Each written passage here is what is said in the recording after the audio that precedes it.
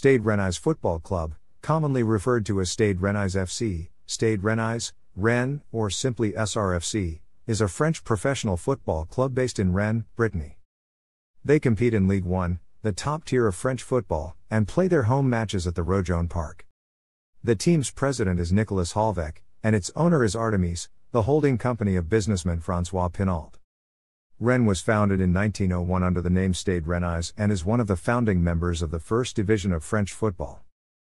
Alongside Nantes, Rennes is one of the top football clubs in the region and the two are among the main clubs that contest the Derby Breton. The club's best finish in the league has been third, accomplishing this feat after the season was ended prematurely in 2019 20. Rennes has won three Coupe de France titles in 1965, 1971, and 2019. After winning the Coupe de France in 1971, Rennes changed its name to its current version. Rennes home colors are red shirts with black shorts and socks. They have a long standing rivalry with fellow Breton club Nantes, with whom they contest the Derby Breton. Rennes is known for its youth academy, known in English as the Henri Guérin Training Center, which was formed in 2000. The French Football Federation recognized Rennes as having the best youth academy in the country in 2010. The cornerstone of the academy is the under 19 team, which has won the Coupe Gambardella three times in 1973, 2003, and 2008. The academy has produced several notable talents, such as Ousmane Dembélé, Yassine Brahimi, Eduardo Camavinga, Yoann Gourcuff, Yann M'Vila, Moussa Sow, Abdoulaye Doucouré, Sylvain Wiltord, and Jimmy Briand. Stade Rennais in 1904. Stade Rennais Football Club was founded on March 10, 1901 by a group of former students living in Brittany. Football had quickly become widely circulated in nearby regions and it was soon brought to Brittany. The club's first match was played two weeks later against FC Rennais, which Stade lost 6 0.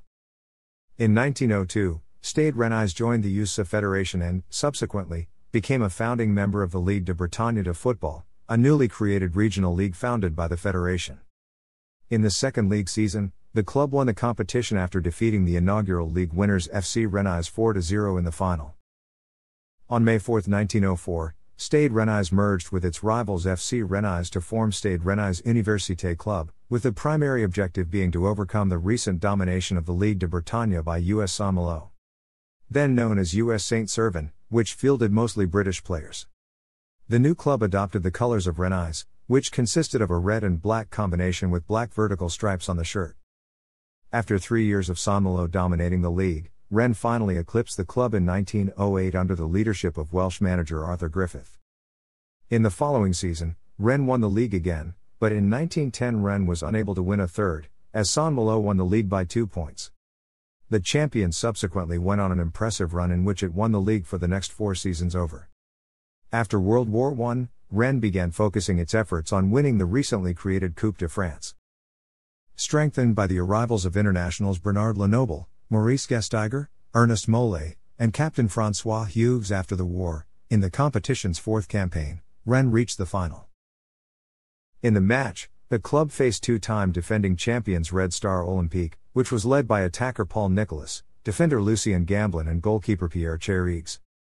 Red Star opened the scoring in the fourth minute and the match was concluded following a late goal from Raymond Santubéry.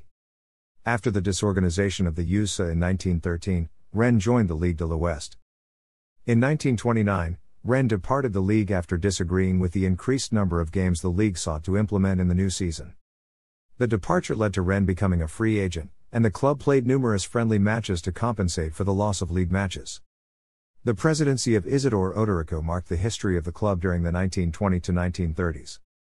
In July 1930, the National Council of the French Football Federation voted 128 to 20 in support of professionalism in French football. Under the leadership of club president Isidore Odorico, Rennes was among the first clubs to adopt the new statute and, subsequently, became professional and became founding members of the new league. In the league's inaugural season, Rennes finished mid table in its group. Two years later, in 1935, the club reached the final of the Coupe de France for the second time. Rennes, however, lost to Marseille 3 0 after failing to overcome three first half goals. The club's attack was also limited in the match due to being deprived of its top two attackers, Walter Kaiser and Walter Vollweiler, who were both injured. Rennes spent four more years in the First Division before suffering relegation to Division Two in the 1936 37 season. Rennes played in Division Two before professionalism was abolished due to World War II. After the war, Rennes returned to Division One. Led by the Austrian born Frenchman Franz Pleyer, Rennes achieved its best finish in the league after finishing fourth in the 1948 49 campaign. Despite the domestic resurgence under Pleyer, the club struggled to maintain the consistency and, in the 1950s, rotated between the First Division and the Second Division under the watch of the Spaniards Salvador Artigas and Henri Guérin, who acted in a player coach role. Under the leadership of new president Louis Girard, Rennes underwent a major upheaval, which included renovations to the stadium. Girard sought to make Rennes competitive nationally, and the first objective was achieved when the club earned promotion back to Division 1 in 1958. After finishing in the bottom half of the table for six straight seasons, Rennes, now managed by former club player Jean Prouff, finished in fourth place in the 1964 65 season. In the same season, the club earned its first major honor after winning the Coupe de France. Rennes, led by players such as Daniel Rodighiero, Georges Lamia, and Jean Claude Laveau, defeated UE Sedan Torcy 3 1 in the replay of the final. The first leg of the match ended 2 2, which resulted in a replay. After the Cup success, Rennes played in European competition for the first time in the 1965 66 season. The club, however, lost to Czechoslovakian club Dukla Prague in the first round. Jean Prouff, pictured in 1935, led Rennes to its major successes. In the ensuing years, Rennes struggled in league play but performed well in the Coupe de France, reaching the semifinals on two occasions in 1967 and 1970. In 1971, Rennes captured its second Coupe de France title after defeating Lyon 1 0 with the only goal coming from a penalty conversion by André Guy. On May 23, 1972, Rennes officially changed its name to its current form. After another season in charge, Prouff departed Rennes and the club entered freefall. From 1972 to 1994, Rennes was supervised by 11 different managers and, during the years, consistently hovered between Division 1 and Division 2. In 1978, the club was on the verge of bankruptcy and, as a result, was ordered by a tribunal to sell its biggest earners and enter a policy of austerity. In the 1980s, the city's municipality gained a majority stake in the club.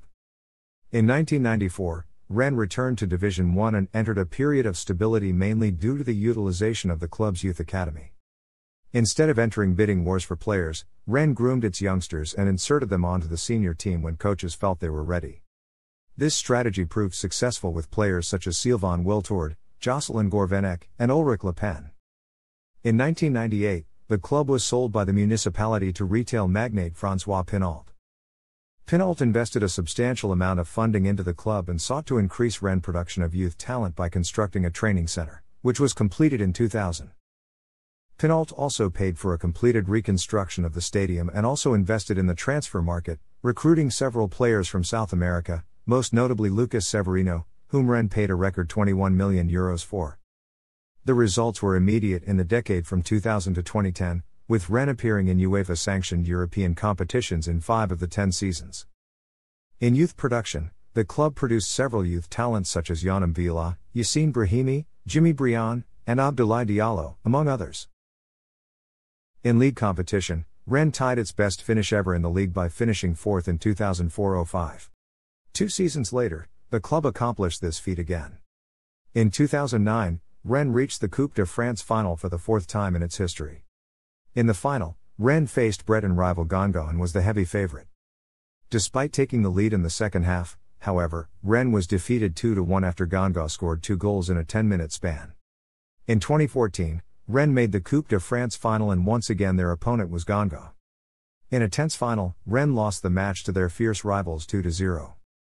In the 2017 2018 Ligue 1 season, Rennes had one of their best campaigns in recent memory, finishing fifth and qualifying for the UEFA Europa League.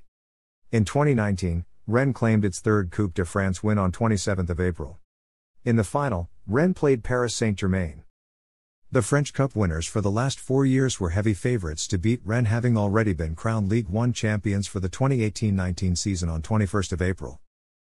Rennes rallied back from two goals down to beat Paris Saint Germain 6 5 on penalties. In 2019 20 season, Rennes finished third in Ligue 1 and qualified for 2020 21 UEFA Champions League for the first time in their history. The Hermina symbols outside the Roazhon Park Rennes has played on the land where the club's stadium, the Roazhon Park, situates itself since 1912. The Roazhon Park, then named Stade de Route de Lorient, which is its address, was constructed in 1912. The facility was inaugurated on September 15, 1912 in a match between Rennes and SA du Lycée de Rennes. The Stade de la Route de Lorient was officially inaugurated a month later when Rennes took on Racing Club de France in front of 3,000 spectators. The Roazhon Park is owned by the city of Rennes and has undergone renovations three times, in 1955, 1983 and 1999. In 1983, the club renovated the stadium in an attempt to resemble the Olympiastadion in Munich. After nearly four years of renovation, the new stadium was unveiled on March 7, 1987. In 1999, the new renovations, which were designed by architect Bruno Godin, cost 37 euros. 3 million and took four years to complete. The stadium's inauguration was celebrated twice, in a match between France and Bosnia and Herzegovina in August 2004, and another football match contesting by Rennes and Metz two months later. The current capacity of the stadium is 29,778. The entrance to the École Technique Privé Odorico, a section of the Stade Rennais Youth Academy, the Centre d'Entraînement Henri Guérin, colloquially known as La Pivardière, was inaugurated in June 2000.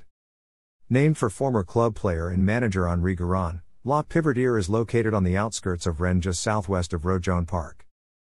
The center hosts the senior team's training sessions, as well as the club's reserve and youth teams. In 2007, La Pivardière became the home of the club's administrative and business headquarters. Since its inception, La Pivardière has become reputed for its consistent production of youth talent, bringing through players that have become household names at the international level. In that time, the club's youth system has made up most of the club's first team. Current first team players Eduardo Camavinga and Joris Gnagnon were graduates of the academy. Rennes has been awarded the honor of having the best youth academy in France. Rennes has won the Coupe Gambardella, the under 19 national youth competition, three times in 1973, 2003, and 2008. In 2003, the team that won was anchored by Yoann Gourcuff and Marveaux. Gourcuff went on to win both the UNFP Player of the Year and French Player of the Year awards and established himself as a French international. Marveaux graduated from the academy after the Gambardella triumph and went on to appear in over 100 matches for Rennes. He had his best season in the 2009 10 season, appearing in 38 matches and scoring 12 goals. In 2008, the team that won the competition was composed of Brahimi, M'Vila, Supren, Johan Lassement, Quentin Rougier, Kevin Théophile Catherine, and Damien Le Tallec. Six of the seven players made appearances with the first team. Le Tallec moved to German club Borussia Dortmund before he could make an appearance. Flares of the Roazhon Celtic Kop at the Roazhon Park. Rennes have several supporter groups associated with the club, ranging from groups of senior supporters to ultras.